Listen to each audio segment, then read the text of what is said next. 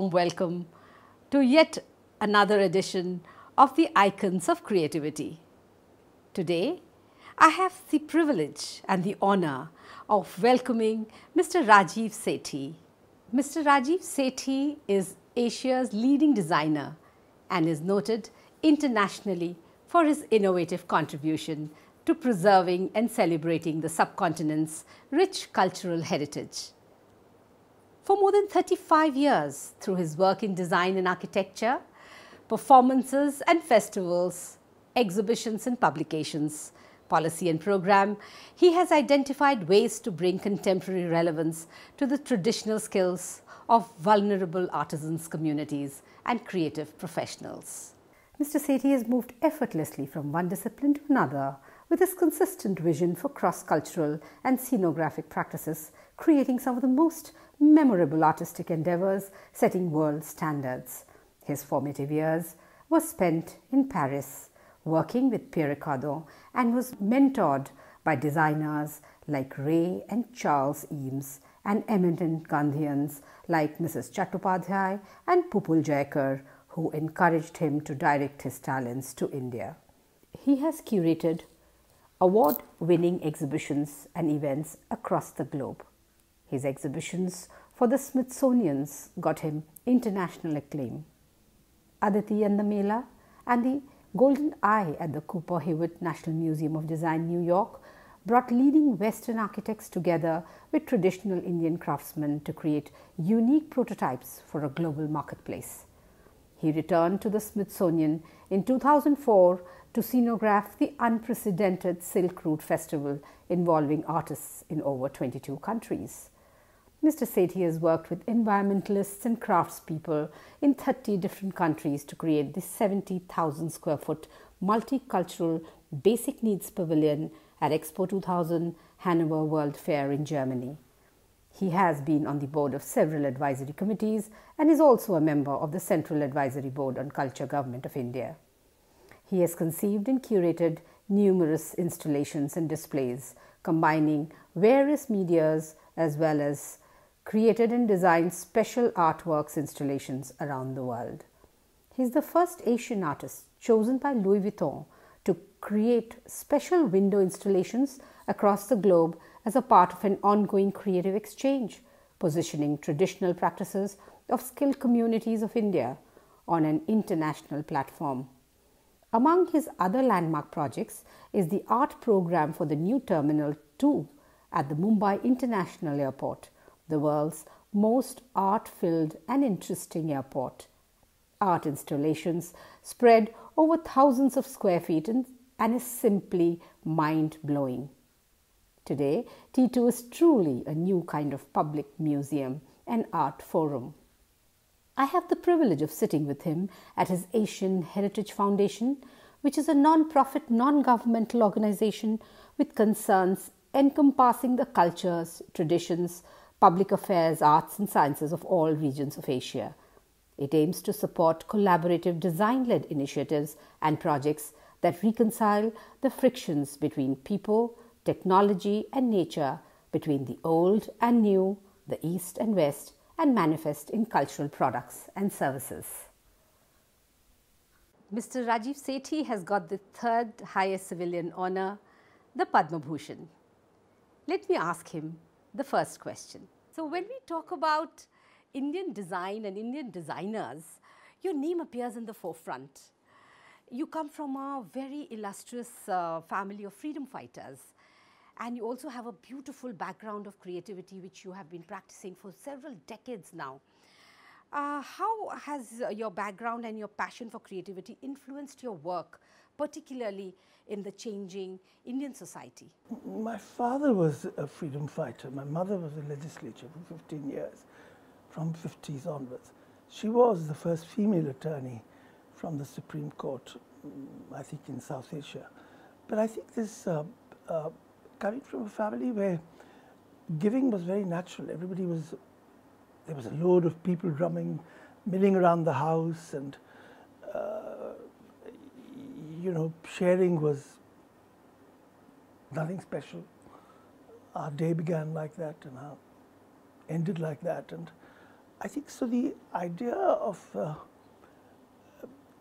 living and sharing and reaching out and finding one's own equation with society uh, wasn't sort of um, something that uh, I thought about consciously. It just came. Uh, where I think it turned into a creative impulse, I think had a lot to do with the, the kind of schools we had then. In my particular case, was modern school, where we had a very transdisciplinary um, freedom to be able to express ourselves. So you could, what you used to call extracurricular, you could have many electives. I was a fine artist, so I was always painting.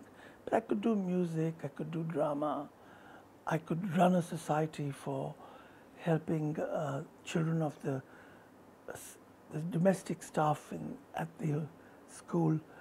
Um, so while we were learning, we had to reach out to share. Uh, that I think was part of the genetic code. Okay.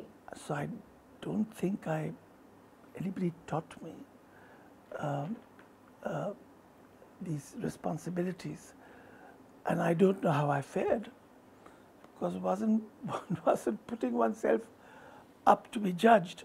I, one didn't know anything else, so okay. we would do it. So you learned uh, while you were uh, doing things and in a in a very collaborative manner. We didn't know how like else to do it. Okay.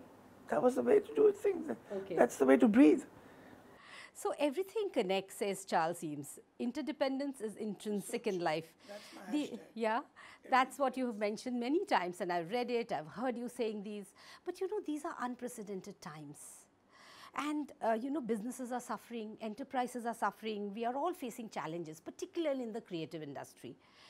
You know, uh, so is it true that uh, the only way forward now is collaboration?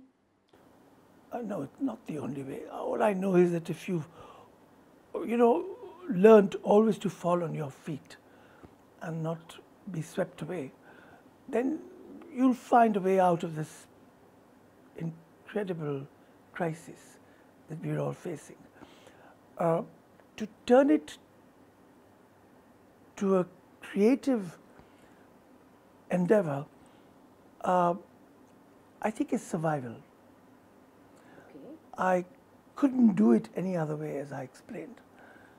So, for instance, right now we are all planning a Ram. I can't bear the idea that an important rite of renewal, like Dashera, like Durga Puja, suddenly, for the first time in our lives at least, that there is no sense of community. There's no sense of how to, to be able to come together so I am quite determined that uh, I'm going to find a way, in spite of social distancing. I don't think it's social distancing, it's physical distancing. In fact, there should be no social distancing. So we really need to have a new uh, Ram Leela. I'm calling it, I think, a, a COVID Ravan and a Corona Ram uh, uh, Lanka. Lanka. And we're creating a Lanka and we're going to have a Ravan. We're not going to burn it because in a week's time, the air in Delhi will be again unbreathable. So it has to collapse. There has to be the drama of something happening where it comes to an end. and so, what comes to an end? Ravan has many things in all of us. There's greed, there's ego, there is um, um, ambition, there is uh, a whole range of things that we have to put to end in ourselves. So each year we must end the Ravan in us. And Lanka likewise has much abuse. So we have to make this whole thing collapse. Okay. And side by side, in the lawn that we have, we're going to have a, a Durga. But again, I'm most concerned that the potters are out of job. Likewise, mm -hmm. like in the Ram Leelas, the people who made kapachi, who were really my first teachers. They used to make these wonderful effigies with bamboo, cut it in a way and put it together to create architecture. I mean, absolutely awe-inspiring and magic. So they are all out of work. Yes, so we went looking for them. Okay. We found them. Okay. And they're now going to work with us to create this collapsing uh, COVID Ravan and uh, Corona Lanka and a evergreen earth Durga, which is going to be, the dough is going to be made out of seeds. Okay. And we'll water it every day. So the Visarjan is, uh, happens, but it doesn't happen to pollute the Yamuna. It all sprouts. Okay. And then I think we'll all make some wheat grass and drink it. Wonderful. My God, what an amazing thought. So creativity is My the way God, out. This is the creativity at its highest. And No. here we are all the time Every day. talking about artificial intelligence and we are talking about, uh, you know, everything virtual. But here you are talking about something completely different, something emotional. You see, artificial intelligence is still way behind us. It doesn't have an emotional retina. It doesn't move you. It might soon get to emotional intelligence. But even so, I think I'd like to believe that we'll always be a step ahead. Okay, how beautifully put. So, you know, when we are talking about technology now, we are also talking about, you know, the current COVID situation. Definitely, people are leaning much more on technology. However, a lot of young designers, I find they're forever constantly uh, using technology, even to do creative, uh, you know, art or creating anything. Uh, what is this thing Nothing about people are forgetting to sketch, No, no. handwrite? Yeah, that is. What is that this? is- see, technology is a tool. In, in fact, exactly as a, a brush or a pen. That's technology too. It's when you become, when it masters you, and you're not able to master what to do with it, then it's debilitating. I think you need to be the one who decides what the technology you want, how it's going to express what's really inside. If it's the medium becomes the message, then there's something wrong happening. And you have to stop. And you have to say, no, not this, not this, not this. Neti, neti, neti. You've got to stop. And you've got to rethink your strategy. You've got to see, how do I find the tools which are going to make me say things in the way that they address my spirit, that they connect me with my hand and with my eye and my mind. So, making, doing, being. The being part of it must result in everything that we do. Otherwise, it's just um, it's um, ornament. Yes. So are you talking about that? Very often you have said, feel the intangible, inherent in everything tangible. No, that is again a, a strategy. What if you? Tell, tell well, us more about it. Sukshma. Uh, you know, you're, I'm an architect, I design a veranda. It's a great place to be when it's raining. Um, it's neither inside or outside. It's in this liminal area.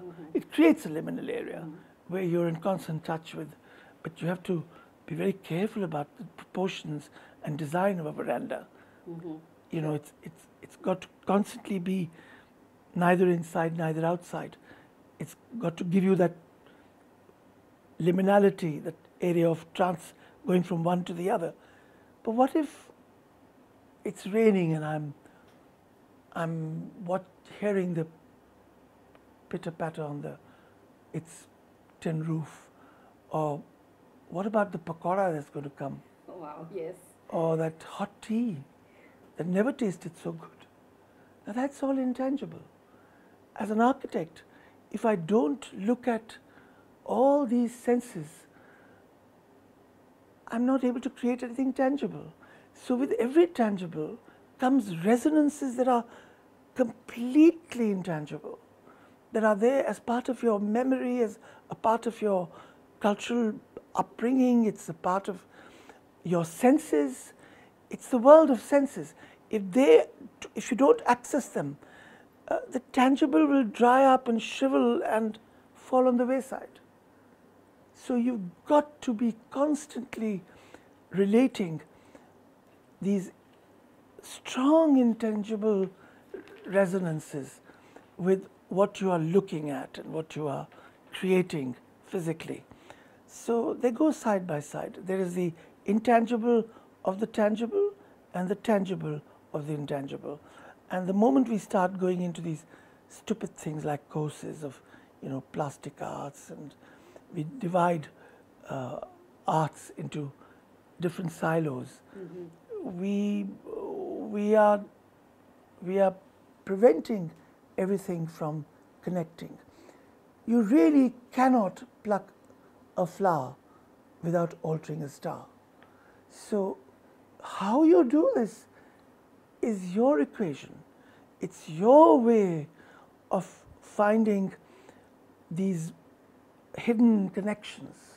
But everything connects. But how? How does the transformation happen? How does a young creative mind bring it into his DNA? The young can do it much better than we can. How? I'm too old to now keep washing that that junk of education.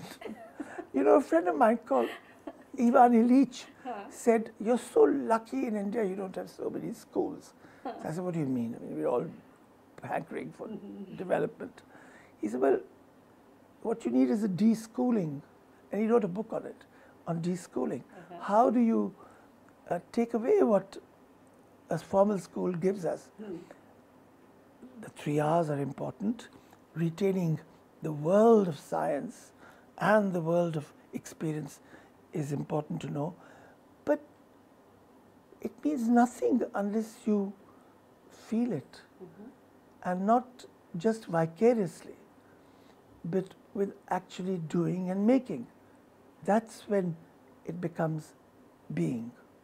But when we talk about being, anyone can. Yes. Anyone can. What about the Children doubts that keep coming in our heads if we are not sure? I mean, it's your head. sure.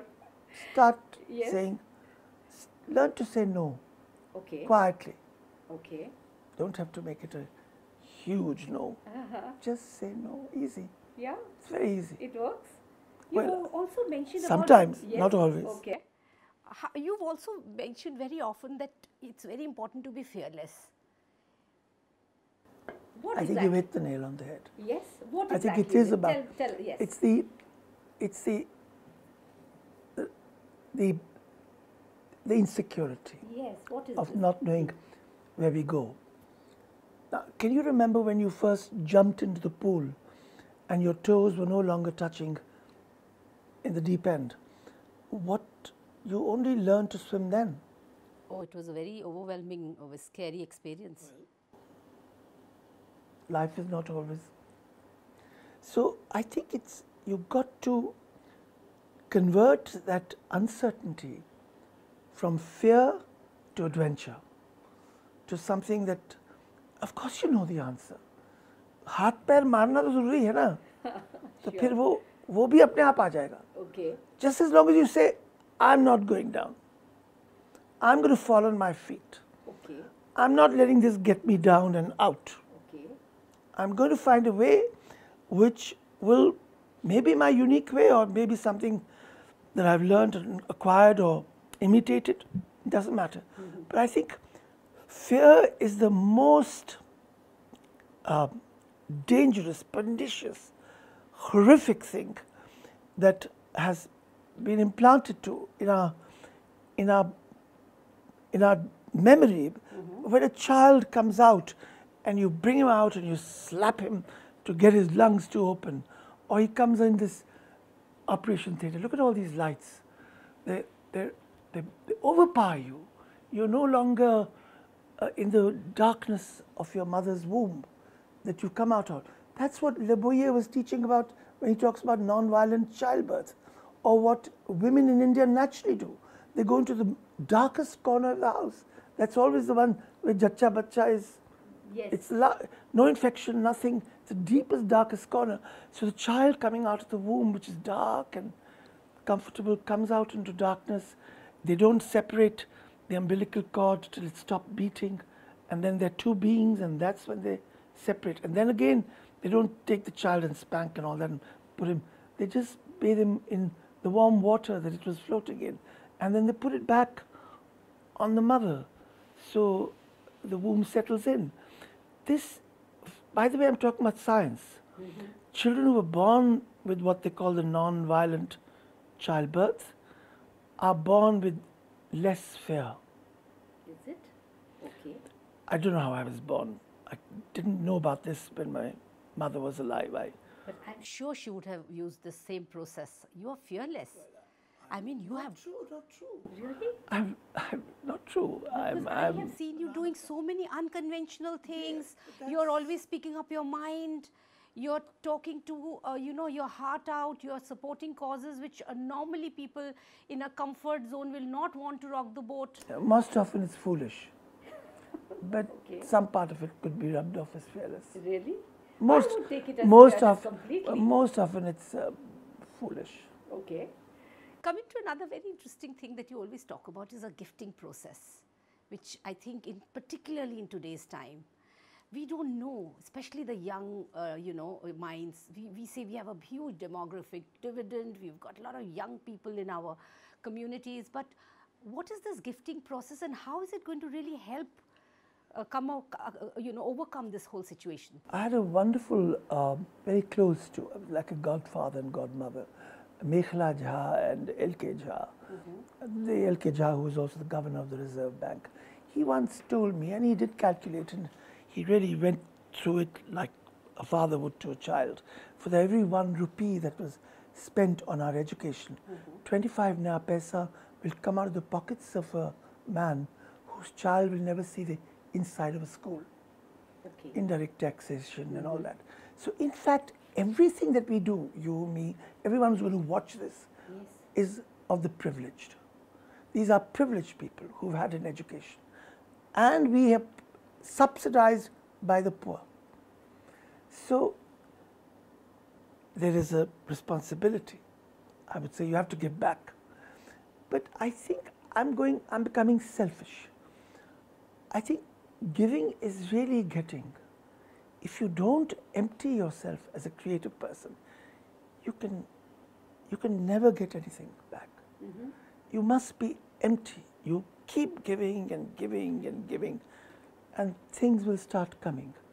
If you try to uh, not do that, well, you're constipated, but you're not. You're not an artist. How wonderful.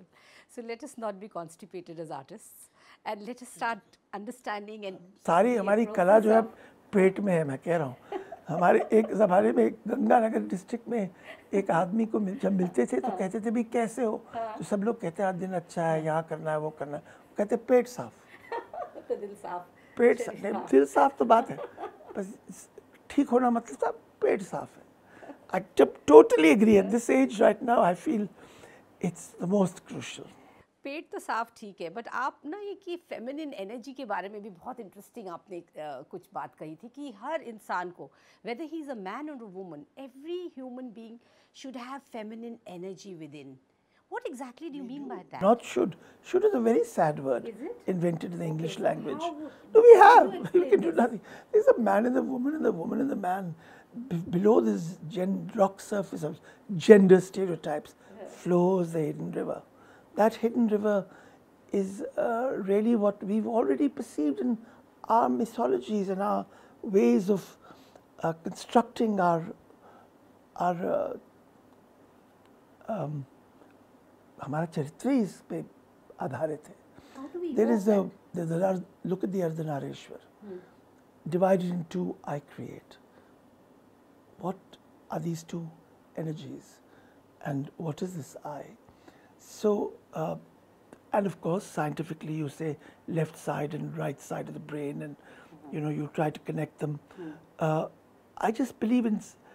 In my case, the search was very defined to my the, the intuitive, the female side of me was very very um, evolved, uh, and I uh, always wanted to. Let me give you an instance. Again, brings me back to Mrs. Jha. I told you about L.K. Jha, Yes. but Mrs. Jha. Uh, we, when we were little children, we used to go to Ramakrishna Mission, and at Ramakrishna Mission, we uh, Mrs. Jha was our teacher. Uh, my, it was very close to my house. I used to live in Panchkuian Road, and it was in Paharganj. So we'd walk every Sunday. We'd have our shops there, our uh, our, our classes there. So she would then take us every Sunday to do some social work, Samaj Seva. And we would go out to a leprosy colony, we would go to a slum, we'd work. That was our Sunday class. When we'd go to the leprosy colony, she would, uh, uh, would make us do things. And we did. We wrote letters, we cleaned up the house, we put it in order, we talked to them, etc. But she would go there and bathe them. They were really, she would bathe them, she would do everything, feed them, bathe them. And I'd look at her. I said, I can do everything. And I told her that. I said, I can, I can feed them, I can write letters to them, I can clean up the house. I, I can't bathe them. So she just looked at me, she said, yeah, that's okay. I'm, I can do that, I'm a mother. I, for me, that question was so um, relevant. So since then, I was seeking the mother in me. What is it that can, what is it so easy for a mother? Why can she bathe? So, what is this mother in me? So, that's the first uh, search for the feminine. And once I got into that, I think I could bathe them. Not too well, not as easily as her, you know, like literally all that, but I could do it. So it was putting yourself in that position and then addressing something else within, which, if you had the courage, you would have found.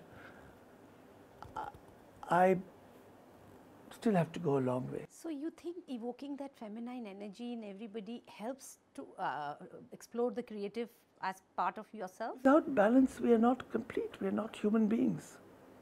It's a wrong, wrong orientation, this macho ness or this totally feminist approach.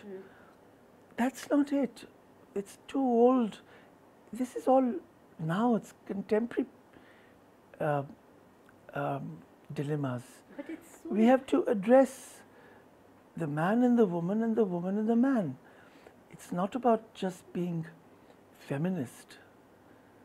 I think it's very important for, uh, in fact, it's the men who need liberation absolutely. because they've I got mean, into, they're not their fault. They've- It is they've so been got it, they've been like forced into a, Yes. why me? There are hundreds of people who speak But like this. people talk. How many practice? How many people? I don't say I practice. No, no, no. I, no, no, no. It's not easy. I don't say that that doesn't surface in me. Ego, but now that you have a touchstone, you do know where to stop, and that helps you evolve. One does not succeed. In fact, often there's failure, and I believe I've learned more from failures than I have from success. So, do you think failures are important in life to move forward and grow? I don't think there is any forward movement without it. How would you know uh, happiness, sadness? It's all flip of a coin. That's what I. Have you ever failed and actually people say celebrate your failure? The media or part that is known of work that I've done over the last five decades celebrates the success. I assure you that there are countless deeply entrenched efforts of mine that resulted in complete failure. I could do a much longer and much more meaningful discourse on failures than I can with success. Many. My goodness, You won't have the time. You won't have the time. All we see is the hugely successful, hugely creative Rajeev Sethi, who has a fairy tale life and who travels around the globe and does beautiful things. And um, I'm so happy to know that you are also a normal person with normal with failures. And I'm sure a large part of the audience who's listening to this will be, uh, you know, enthused that okay, if even if they fail, it's okay because people like you have failed too. The only thing I said to you is that we don't, you don't ever give up. Mm -hmm. You fall on your feet, okay. not flat on the ground. Okay, so it is said that it's not about how many times you fall, it's about how many times you bounce back is what really determines who you are. Yeah, I think you need to, yeah, is that, yeah, well, I've stopped counting. Okay. oh, so you failed many, many times. Yeah. Countless is the word. Is that yeah. what you're saying? Yeah. How wonderful. So now let's talk about the craft that you're so, so close to. You know, so. You what know, do you mean by craft? Craft, arts, all of this that you are deeply, deeply, deeply, uh, you know. I've yet to find a word. Okay kala, shilp. Okay. I don't know. It's all, again, if I'm searching for the transdisciplinary, then it's not just uh, three dimensional or tangible, it's performance, it's food. It's all what we now have started to call creative and cultural industries. Mm-hmm. I mean, we still haven't started calling that, but I sat in the planning commission, total fail of failure again. Okay. One year mm-hmm. sitting in that Yojana Bhavan, trying to get the government to see synergy in getting all their ministries to think together, things that are related to culture and heritage, and that can be positioned as a livelihood imperative for the world that does not understand words like handicraft, handloom, cottage industries, khadi. They understand legacy enterprises. They understand creative and cultural industry. That's part of even the World Bank and the United Nations, UNESCO, all their brief are very, is very clear. But we need to address uh, this in a more holistic manner. So therefore, 2 plus 2 is never 4.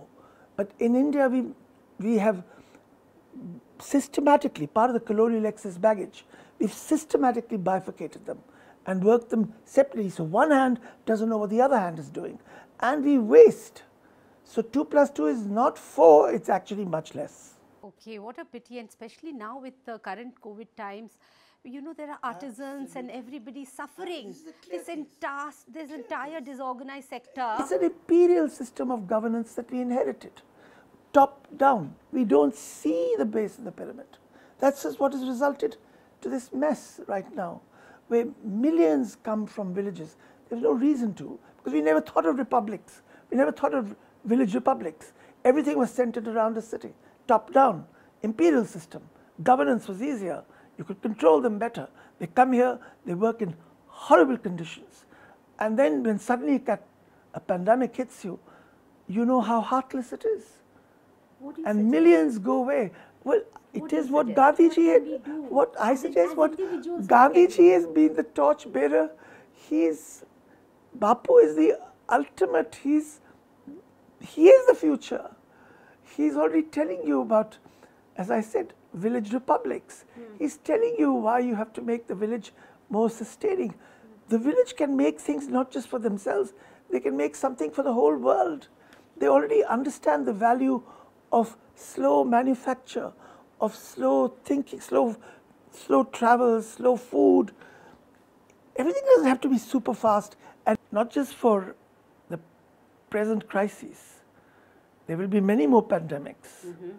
This earth cannot support greed.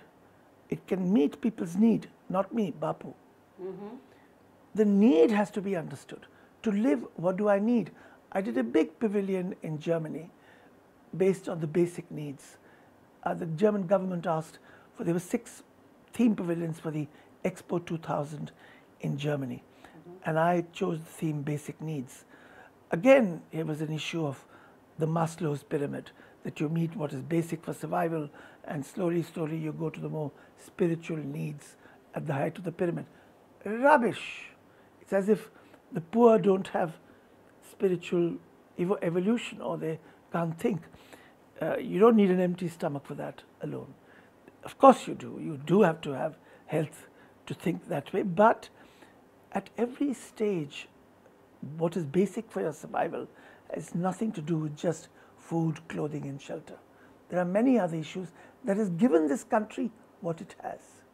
What is basic to my survival? To live, what do I need? That's the question we have always asked.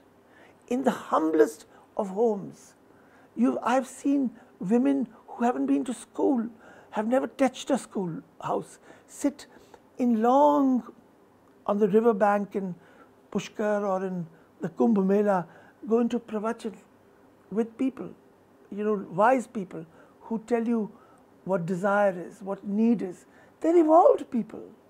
We, this is part of our great culture. So we but we have marginalized it or we've taken it for granted. And we have never really uh, quite uh, put our best foot forward for this very vulnerable sector who always have known what to do to support and sustain life. So it's absolutely important to continue keeping the need versus the greed factor in our head, primary. To, be able to distinguish what's greed and what is need. When need turns into greed, it's a very slippery path. At this point, let me take some audience questions. So we have uh, Veronica D'Souza who asks, as a scenographer, how do you envision the components of an, any scene and turn it into reality? Like, for example, the Mumbai Airport T2 terminal project. How did you envisage the whole thing and the way it is looking now? Well, uh, you know, uh, I would hate to say that I uh, became aware of these issues when I became a scenographer. That's much later. I didn't even know what scenography meant.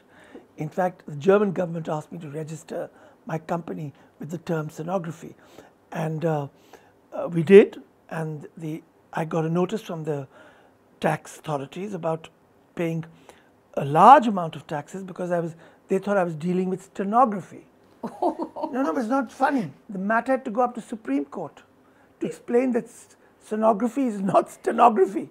So even I didn't know enough. So one thinks like a human being, okay. and one started to say that, look, I'm traveling and I'm tired and I'm coming from one area into another area, there's this liminality that brings out a slight uh, alertness, that there's a slight moment where you transfer from your long voyage mm-hmm. back home or from your home to this long voyage. That liminality is something I had an idea about. Mm-hmm. And I mm-hmm. said, how do we touch that moment, that chord, which can become a, a spectacular arrival or a meaningful farewell. So I thought of themes that could be best suited to people. And in this, of course, the patronage is very important. The patron's uh, commitment is what makes creative people think. Mm -hmm. If there's no patronage, creative would creativity would be very difficult. I'll take the next question from Sunandan Ghosh who's asking you, is art patronage becoming a lost custom? How can we revive this? Art is becoming a lost custom. Mm -hmm. As we don't know what art is, then patronage won't know what to do. Yes, but apart from the, uh, though the pun was intended, I, I do believe that uh, uh, uh there is going to be a generation that's going to become more responsible mm -hmm. about the, the artists in, in our society. I think uh, museums and cultural spaces and the concept of the creative city mm -hmm. that has never really been understood. It's it has shrunk like our senses. And I think it'll take a generation to understand that no, there has to be a lot more. And a lot of good efforts are being done. I remember my friend who walked in there came to me from Spick Now, there was a great brave effort of young people being introduced to something that we almost lost. That we thought, well, you know, a few people go see it in a air-conditioned hall. It's for the few, of the few, for the few. Because the pedagogy never allowed this. Yes, so, so patronage will begin with pedagogy. Okay. You start teaching the children what arts, crafts, what they do to you, to the soul, to the community, why they are especially pleasurable, why they are important for your growth and emotional growth, then they will start becoming the patrons of tomorrow mm -hmm. because they will understand why it's important for them and for all the community around them. So exposure is very important. And that's what I meant. The art is now confined to the few of the few for the few. That's why Rajiv Gandhi's idea of the Apna Utsav was very important. It was too quick, too big, too soon. It was like most things in government. Sure. We just come and तमाशा करके no this is हाँ but ये जो हाँ अरविंद तांबे ने यही question पूछा आपसे। He is asked museums and exhibitions of the arts have often associated with the elite how can we make it more popular among the common man देखिए हमारा तो देशी अजायब घर है। म्यूज़ियम का हिंदी में क्या शब्द है? अजायब घर। तो ये हमें देखना है कि हमारे आसपास सभी हुनरमंद लोग हैं। हमारा देश गरीब देश है मगर बहुत हुनरमंद देश है। दस्तकार दरिया काबिलों की उम्र बढ़ जाती है। खुद कर लो हिसाब। हुनरमंद का एक दिन बेहुनर का एक साल। तो देखो आसपास देखो so many people with such great talent that we don't even recognise So let's find them. Museums will help to position it, but still they are a, an alien construct. okay We have to, uh, it has to become uh, more every day, and they haven't grown enough to make it into a, an experience for uh, uh, people to walk off the street, to to have a reflective moment, or to be able to look back or look ahead. So museums as Ajaib Ghars are treated as Ajaib Ghar, a little curiosity, a little uh, entertainment.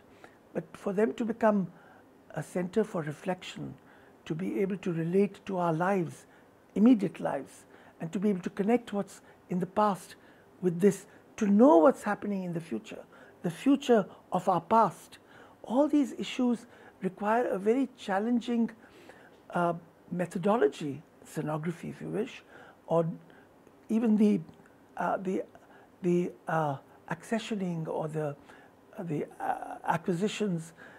It has to change. The museum's thought processes have to change for them to bec- become more popular. They are needed as an institution, however colonial that giving is. But we need to revitalize them mm-hmm. to make it more relevant to a larger base of people. Wonderful. So I'll probably I'll show the museum uh, uh, uh a short uh, uh, you know film on the museum uh, after this particular ah, conversation. Yes. No, that's a Sandarbh. That's not a museum. Museum. Okay. We call it Sandarbh. It's a hands-on thing. Okay. They don't have such facilities in the village. Okay. Me as a scholar, I'm in the embarrassing position of knowing more than the anonymous genius from whom I've learned. Because they don't have that access. I do. Okay. I can get into a museum, write a chitta to say, I need to study, go into the store and try and get people who need to see this. And all their references have gone, have been picked away. They're relying on their oral need. So ours is, a it's called Sandarbh. Mm-hmm. So when craftsmen come, they can go, they can touch, they can feel, they can take away, they can study it carefully so they can replicate. It's hands on reference. We need more hands on references for those people who need it. Beautifully put. My goodness, I think this is the need of the hour. The last question Ritu Kaul has asked is Tribal art, our cultural pride is languishing. As designers and patrons of art, what do we need to do to preserve these at an individual level? I think from a, a- from a very practical point of view, uh, you know, everything is available at the now on your Internet. internet. But we've all learned by traveling. If you do not go and live in a tribal area, you can study all the very relevance of the world. You can study all the anthropologists that are extremely articulate, you will not be able to understand it till you actually get out and see what this country has. There are hundreds, of- I've been to only about 450 districts, but there are 700. I don't have another life. I wish even I had nine lives, I would not be able to see what this country has to give you. But you know, we've had to travel on bullock carts, walking, bicycling, buses. Planes came much later. Jeeps, jongas, yes. We, I had to go through neck deep water to reach a place which I knew had um, a community that I needed to be with. So it's the journey that becomes the end also because it's so cathartic. It uh, teaches you so much more. So uh, enjoy, relish the easy access, but not at the cost of, don't become so vicarious, not at the cost of your, your, uh, your senses finding the open air. Wasn't that an amazing conversation with Rajeev Sethi, the man who has so much to share? I wish this conversation could have gone on. I, for one, was completely mesmerized. I'm sure all of you listening would have been feeling the same. A very big thank you to Mr. Rajeev Sethi, of course, to all of you wonderful audience, and the entire team of Mr. Rajeev Sethi and his office. This would not have been complete if I don't thank Orient Bell Tiles for creating this platform of icons of creativity. So, a big goodbye till we meet again for the next episode of the Icons of Creativity.